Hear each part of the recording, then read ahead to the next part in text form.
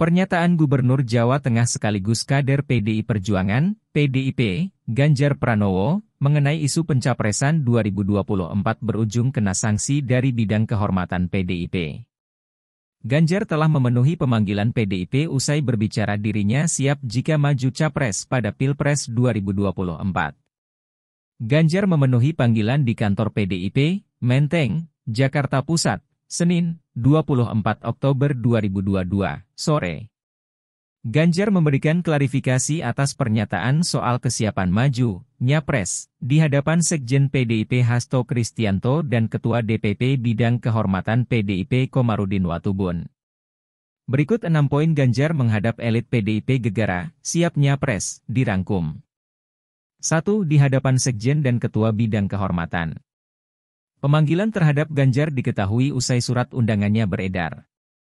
Dilihat detikcom, Senin, 24 Oktober 2022, isi surat itu yakni Ganjar Pranowo dipanggil ke kantor DPP PDI Perjuangan, Jalan P. Diponegoro 58, Menteng, Jakarta Pusat pukul 16 waktu Indonesia Barat agenda pemanggilan Ganjar, dalam surat yang beredar, yakni klarifikasi. 2. Bawa amplop coklat. Ada hal yang menarik perhatian saat Ganjar menghadap kedua petinggi PDIP itu. Ganjar tampak menenteng selembar amplop coklat. Saat menemui Hasto dan Watubun, Ganjar lalu menyerahkan amplop tersebut. Apa isi amplop tersebut? Pagi tadi saya didatangi mama-mama dari Papua di rumah saya dan mereka menyampaikan program pembangunan yang ada di sana, ucap Ganjar di kantor DPP PDIP. Ganjar mengatakan dirinya sengaja membawa amplop itu ke kantor PDIP. Dia mengatakan amplop tersebut diserahkan ke Watubun karena berisi harapan dari warga di Papua. 3. Sekjen PDIP tegaskan disiplin partai. Sekjen PDIP Hasto Kristianto mengungkapkan alasan pihaknya memanggil Gubernur Jawa Tengah Ganjar Pranowo mengenai pernyataan siap maju Capres 2024. Hasto berbicara soal gimmick-gimmick politik terkait pernyataan Ganjar itu. Hasto mulanya menekankan PDIP telah satu suara berpegang pada hasil Kongres V PDIP bahwa keputusan strategis soal Capres di tangan Ketum Megawati Soekarno Putri. Kongres ke-V telah memandatkan terkait dengan Capres dan Cawapres itu merupakan hak prerogatif Ketua Umum PDI Perjuangan Ibu Profesor Megawati Soekarno Putri, kata Hasto kepada wartawan di kantor DPP PDIP. Hasto menegaskan Megawati nantinya mengumumkan keputusan PDIP terkait pencapresan pada momentum yang dianggap tepat. Dia meminta kader agar bersabar.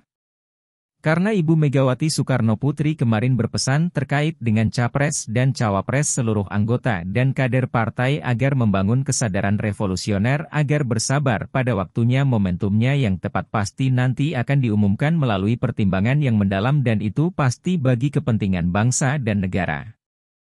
Sebagaimana Ibu Megawati telah melakukan pada saat mengumumkan Bapak Jokowi pada bulan Maret 2014 yang lalu, ujarnya. Dia lalu berbicara soal gimmick-gimmick politik yang muncul atas pernyataan Ganjar soal kesiapan maju capres. Dia meminta seluruh kader agar berdisiplin ihwal ini. Sehingga dalam konteks itu agar seluruh kader berdisiplin mengingat beberapa waktu yang lalu terjadi berbagai upaya untuk memunculkan gimmick-gimmick politik atas pernyataan dari Pak Ganjar Pranowo maka hari ini dilakukan klarifikasi oleh Ketua DPP Bidang Kehormatan Komarudin Watubun dan saya bertugas mendampingi beliau, lanjutnya. 4. Kena sanksi teguran lisan. Usai dimintai klarifikasi, Ganjar dinyatakan tidak melanggar tetapi tetap kena sanksi. Sanksi bagi Ganjar disampaikan Watubun di markas PDIP.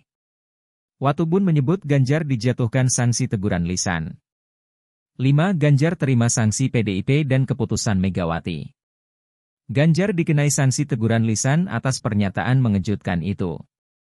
Ganjar menerima teguran PDIP dan mematuhi keputusan Ketum Megawati Soekarno Putri Ihwal ini. Ganjar mendukung langkah Hasto dan Watubun yang telah memberikan penjelasan ke publik atas pernyataannya. Dia menganggap sanksi lisan itu sebagai perbaikan dari komunikasi publiknya.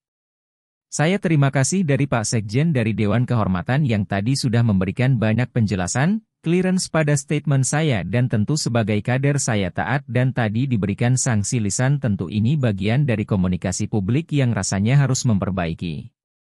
Dan tentu saja yang kedua Pak Sekjen juga bicara PDIP Perjuangan, juga baju saya. Semua keputusan terkait dengan Pilpres keputusan Ketua Umum, jadi semua pasti akan mengikuti, ujar Ganjar di kantor DPP PDIP, Jakarta Pusat, Senin, 24 Oktober 2022. Ganjar menegaskan bahwa dia akan taat terhadap aturan PDI Perjuangan. Dia bahkan memamerkan seragam partai yang dia kenakan saat dipanggil ke markas PDIP. 6. Ganjar bicara perintah Megawati dan Jokowi. Ganjar turut mengungkit tugas dari Presiden Jokowi soal pengendalian inflasi termasuk membereskan masalah stunting. Ganjar mengatakan sepakat sebagai pemimpin daerah harus turun langsung ke lapangan. Saya orang yang setuju tadi yang disampaikan mesti turun ke bawah mengurusi apa yang ada di daerah. Tentu hari ini kita berkaca mengendalikan inflasi dan ini bagian cara mendukung pemerintah nasional apa yang diperintahkan Pak Jokowi sebagai sama-sama petugas yang ada di pemerintahan untuk membereskan itu, kata Ganjar. Tapi ada fungsi lain yang diperingatkan Ketua Umum yang juga kami bereskan stunting tadi, makan pendamping beras, lanjut dia. Ganjar mengatakan Pemprov Jateng sudah menyiapkan Berida untuk riset. Ganjar juga sudah melakukan siaga bencana di tengah cuaca ekstrim. Dan ini yang ditakutkan nanti seandainya tahun depan kita terjadi suatu krisis, daerah sudah siap itu yang kita kerjakan. Dan kami dari Jateng juga sudah menyiapkan Berida sebagai mitranya BRIN untuk meriset itu agar kemudian bisa kita selesaikan.